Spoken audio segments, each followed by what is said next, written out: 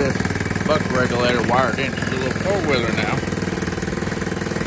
I made a little plastic housing for it to live in to kind of cushion it from any vibrations and uh, that kind of as a splash guard. But anyway, as you can see,